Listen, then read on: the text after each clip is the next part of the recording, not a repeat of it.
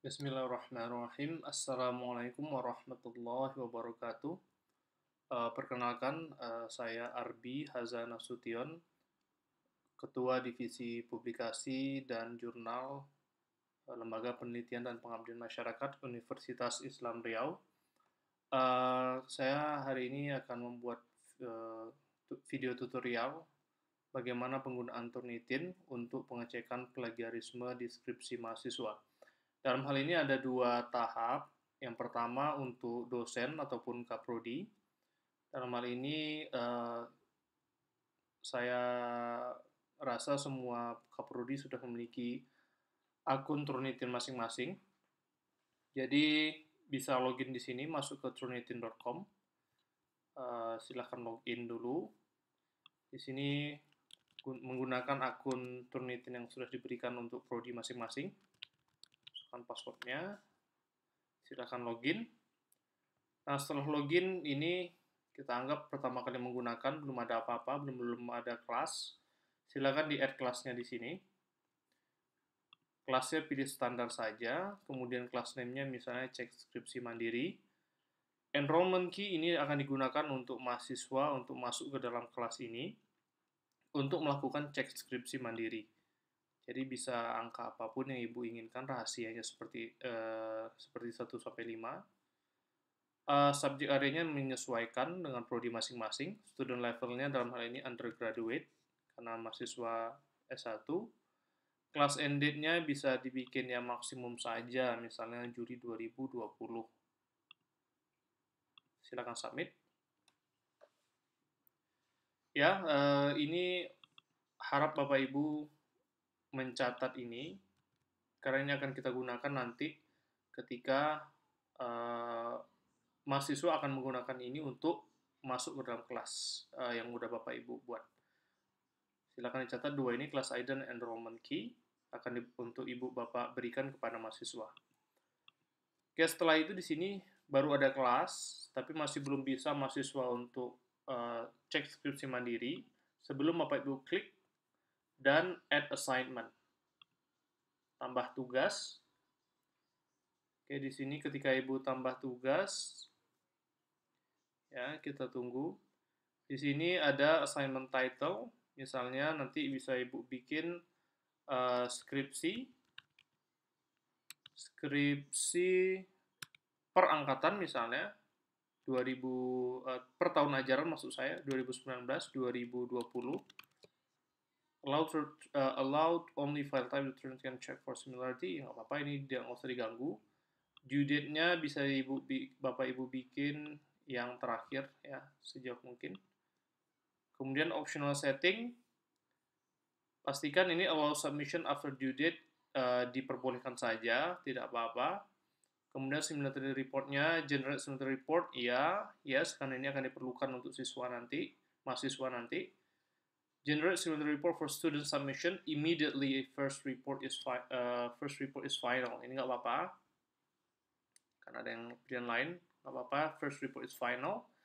Exclude bibliographic mat bibliographic materials. Ini di yes saja artinya daftar pustaka itu tidak akan dihitung dianggap uh, plagiat.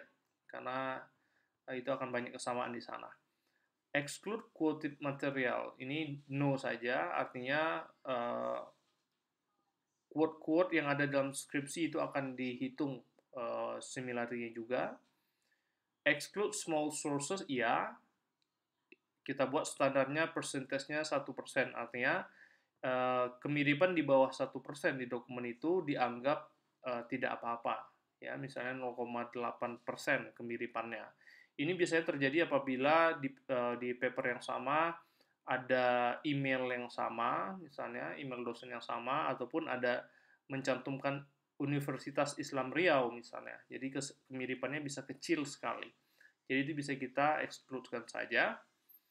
Kemudian allow student to see similar reports, iya, sehingga nanti student bisa mendownload sendiri.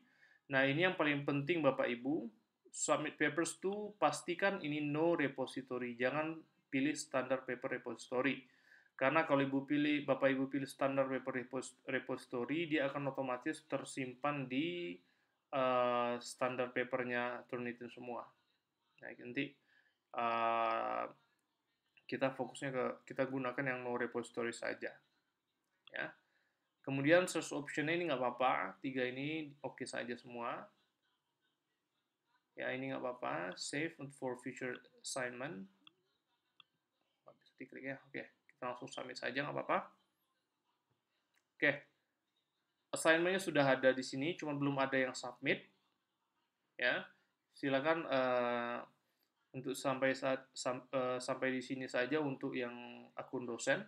Sekarang kita bisa masuk ke akun uh, mahasiswa. Kita logout di sini.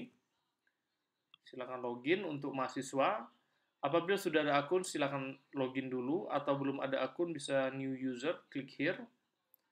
Sebagai student, di sini. Silakan masukkan kelas ID yang sudah diberikan oleh uh, dosen tadi, seperti ini. Enrollment key-nya apa, masukkan nama Anda, class name, email address, email address, uh, confirm email address, kemudian passwordnya, security questions, kemudian I'm not robot dan I agree. Ya, itu bagi yang belum ada akun sebelumnya. Tapi saya sudah membuat akun untuk uh, mahasiswa. Sebagai contoh di sini, kita login kembali ya sudah ada akunnya jadi cukup login ke dalam akun yang sudah dibuat sebelumnya seperti ini silakan login nah di sini belum ada kelas sama sekali di sini sebagai student dan belum ada kelas. Oleh karena itu di sini harus enroll in a class baru masukkan yang tadi kelas ID yang sudah diberikan oleh kaprodi masing-masing. Ya enrollment key-nya juga langsung submit. Dan otomatis kita akan masuk di instrukturnya saya tadi, akun saya. Nah, kalau ini akun Prodi akan tertulis uh, Prodi Teknik Informatika, contohnya seperti itu. Kemudian ini nama uh, kelasnya, kita bisa masuk di sini, mahasiswa bisa masuk ke dalam. Nah, kemudian di sini tanpa ada beberapa data, similarity belum ada apa-apa sama sekali, kita bisa submit view. Kita belum bisa view karena belum ada submit sama sekali. Nah, kemudian di sini kita submit misalnya. Nah, first name, last name sudah ada, submission title-nya apa. Nah, ini bisa uh, saya sarankan submission title sesuaikan dengan judul skripsi masing-masing. Dan ini bisa submit dari komputer, dari Dropbox, ataupun Google Drive. Jadi saya mau title yang sama. ya Kita letak di sini. Oke, kemudian kita bisa upload.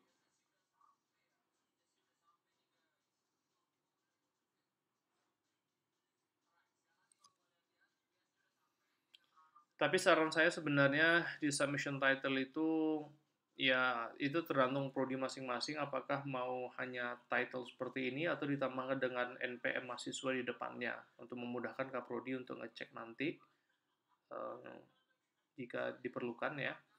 Kemudian sudah ada data yang seperti ini, silahkan confirm. Oke, okay, congratulations, submission is complete.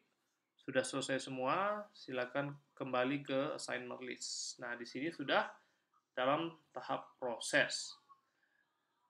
Nah, proses ini tergantung besar uh, file yang diupload skripsinya, ya, uh, seperti yang sudah uh, diumumkan oleh uh, instruksi dari rektor bahwa skripsinya semuanya dimasukkan saja dari uh, halaman depan dari cover sampai ke daftar pustaka itu dimasukkan saja semua.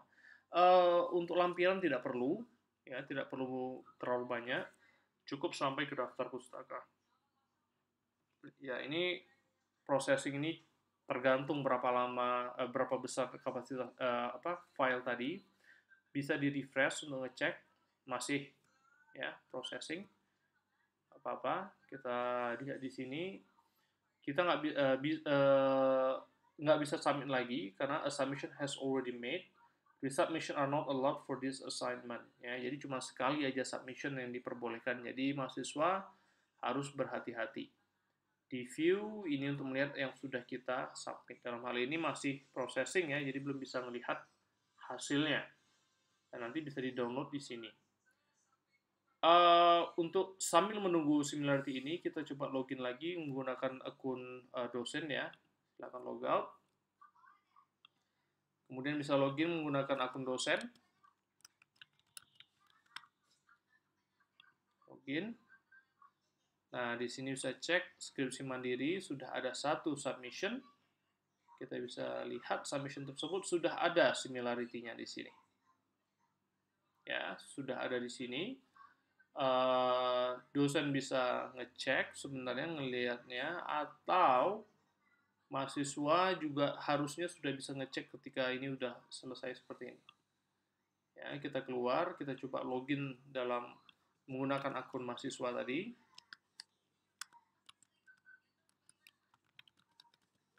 Ya, kita coba login.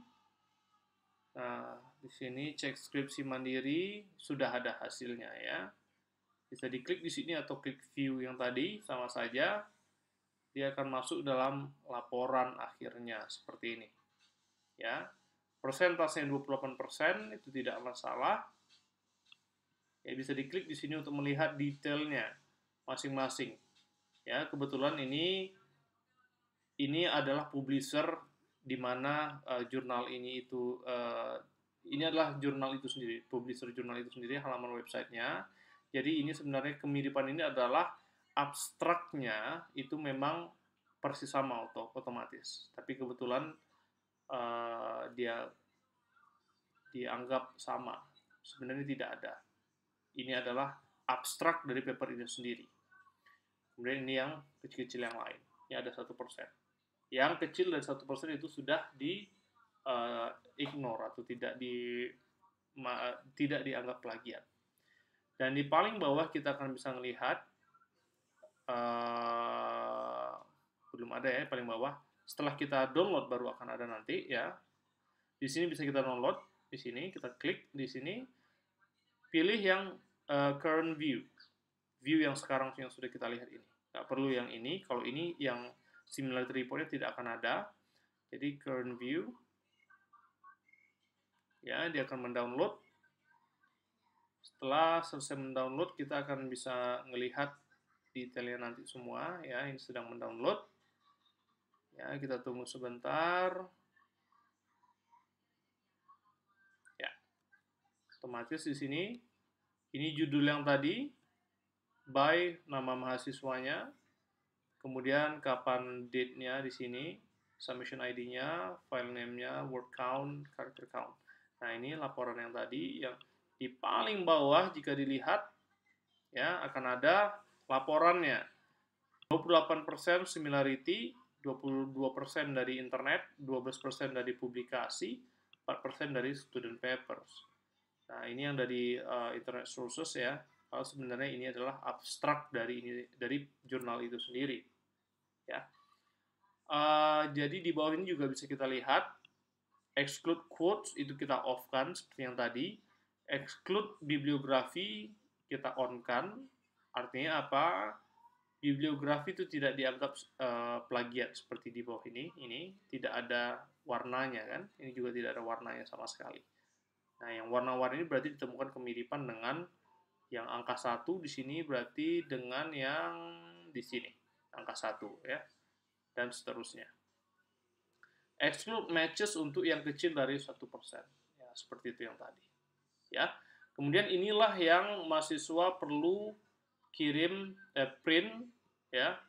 Halaman ini di print semuanya, di print dan dikirimkan eh, disertakan juga ketika penyerahan eh, bukan penyerahan skripsi eh, untuk mengupload skripsi uh, di repositori UIR silahkan datang ke perpustakaan UIR setelah mendapatkan Eh, berkas-berkas yang diperlukan yang salah satunya adalah report ini. Seperti itu. Jadi report ini dibuat uh, dilakukan mandiri oleh mahasiswa itu sendiri dan uh, sebagai mahasiswa bisa juga melihat langsung dan bisa ngedownload hasil yang tadi dan sebagai dosen ataupun kaprodi dalam hal ini cukup untuk memastikan saja memastikan apakah mahasiswa telah benar-benar melakukan uh, uh, pengecekan plagiarisme apa tidak. dengan cek di sini dan view di sini bisa dilihat nanti list-list mahasiswa yang sudah melakukan pengecekan terhadap skripsinya masing-masing. Seperti itu. Oke, demikian saja uh, tutorial hari ini. Uh, terima kasih atas perhatiannya. Assalamualaikum warahmatullahi wabarakatuh.